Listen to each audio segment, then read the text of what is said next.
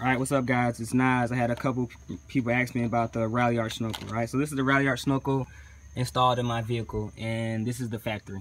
All right, so the Ralliart Snorkel is technically uh, too long, all right, to fit on the Outlander Sport. All right, now this fits any intake box, whether you have the 11 to 12 or 13 plus, it'll fit all the boxes, but either way you will still have to trim.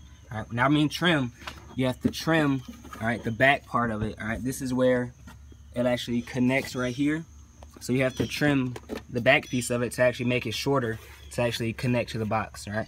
Now, unlike the factory intake, you don't need to to reinstall this piece right here to actually hold it in. If you trim it small enough, it actually fits nice and tight. You see how it, how it doesn't move, right?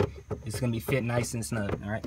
Now this right here is the, the little factory uh, factory panel that's actually under the radiator panel that, that shoots air into the snorkel, right?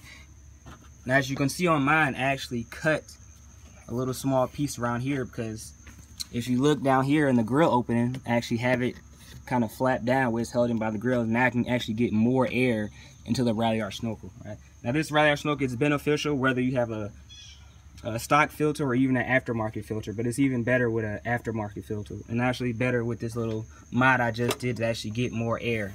All right, now if you see this, the size of this compare this. I don't have the actual measurements. If you need me to measure, I actually measure it. But obviously, just by looking at it, this is about at least an inch and a half bigger. All right. If you got any questions, let me know.